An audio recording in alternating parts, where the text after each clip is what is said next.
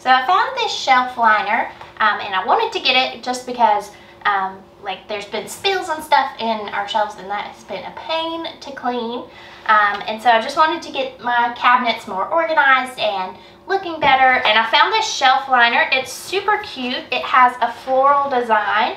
It's like pink and green and white and it just looks really cute and springtimey.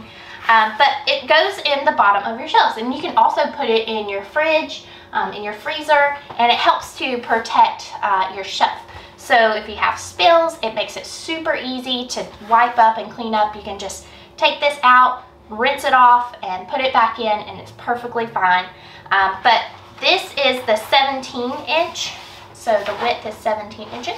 That you can get 11, 17, or 23 um, inch width, and you can also get multiple sizes in the length.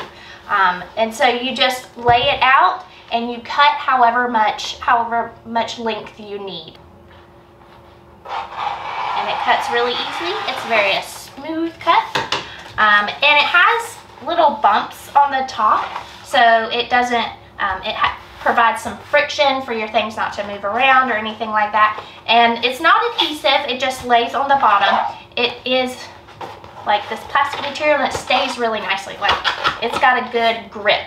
So if you are looking for some good protectors for your shelves, definitely consider these.